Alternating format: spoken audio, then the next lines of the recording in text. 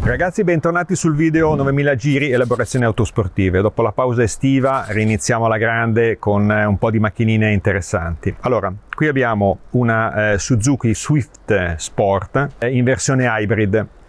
Eh, su questa macchina ne abbiamo già lavorato precedentemente, non era la versione hybrid, era la versione normale, comunque grosso modo in linea di principio le macchine sono molto, molto simili. A livello di motore cambia qualche cosa, però come struttura grosso modo la macchina è simile.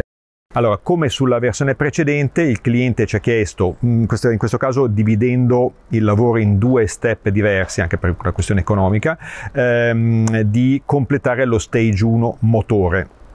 Quindi lo stage 1 motore è composto da eh, centralina, eh, pedal booster, filtro e la parte scarico. Per il momento la parte scarico vedete è ancora quella originale, eh, il mese prossimo completeremo appunto questo, eh, questo stage 1 con l'acquisto del classico eh, terminale e, e, centrale diretto eh, Ragazon. Ricordiamo che il terminale sarà un terminale omologato con uscite da 112 in carbonio che si andranno ad alloggiare perfettamente presente in queste asole, quindi a livello estetico, a livello di sound e qualcosina a livello di prestazioni andiamo a guadagnare. Comunque per il momento il discorso scarico lo, lo, lo vedremo settimana prossima. Noi quello che stiamo facendo il buon Mirko è qua che sta tribolando, è mettere a punto la parte motore. La, allora, la parte motore, come in tante altre occasioni, la trattiamo con la centralina Seletron, che noi andiamo poi a ritoccare e a riprogrammare. Quindi in questo caso Mirko sta ehm, seguendo i vari punti di eh, pressione per applicare appunto alla cavetteria i vari bypass. Eh, una volta stesa la cavetteria eh, troviamo un connettore che è questo connettore qua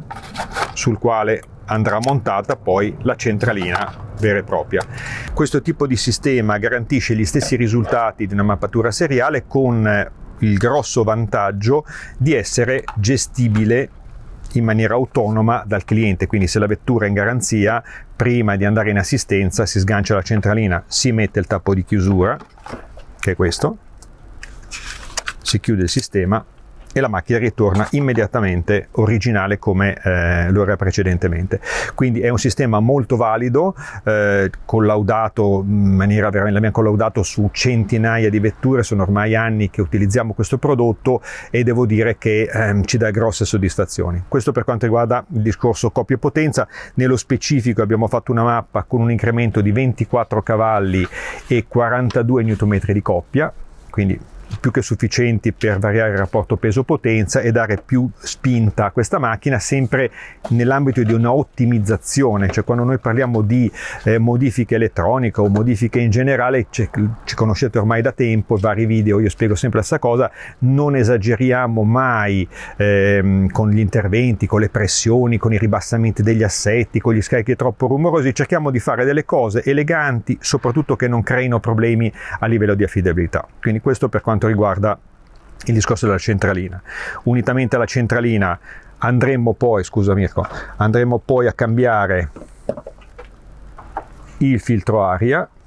questa è la scatola filtro originale quindi verrà tolto questo filtro che è in materiale diciamo eh, spugnoso ehm, che non è riciclabile e lo sostituiremo con il classico filtro aria pannello BMC che poi è questo che andrà appunto ehm, lavato e eh, verrà rigenerato eh, diciamo a cadenza ogni 10.000 km. Questo per quanto riguarda l'aspirazione. L'ultima cosa che rimane è il pedal booster, come abbiamo spiegato tante volte il pedal booster è un sistema elettronico che va a bypassare il eh, segnale sul pedale acceleratore e questo consente di, ehm, faccio vedere solo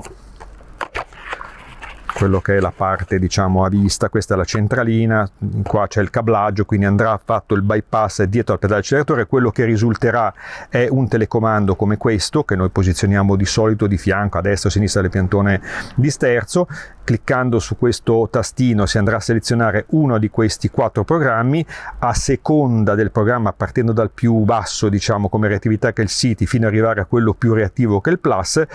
ogni eh, step guadagna eh, di, diciamo riduce del 25% il tempo di risposta. Quindi in questo caso avendo la parte elettronica e coppia potenza e la parte diciamo di riduzione del buco eh, in partenza mh, mm, lo stage 1 è, è, a questo punto completato. Abbiamo la macchina assolutamente eh, ehm, perfetta come lo era prima solo che diventa più dinamica più brillante ridurremo i consumi in funzione del tipo di guida comunque ridurremo anche i consumi. Diciamo una, un'elaborazione che alla fine noi troviamo intelligente alla fine con tanta resa poca spesa la macchina guadagna in maniera eh, direi più che onorevole. Eh, per il momento direi è tutto, magari ci riaggiorniamo il prossimo mese quando il cliente deciderà di montare lo scarico e vedremo la macchina completata quantomeno per la parte meccanica a livello generale sullo stage 1. Quindi per il momento è tutto, vi eh, ricordiamo di consultare il nostro sito www.9000giri.it, qualunque tipo di richiesta ci chiamate direttamente in sede 0273833175, di solito rispondo sempre io a qualunque vostra domanda dal lunedì al venerdì, quindi sabato e domenica non se ne parla, soprattutto cliccate sulla campanella e iscrivetevi al canale per rimanere sempre aggiornati su tutto quello che noi facciamo. Saluti, alla prossima!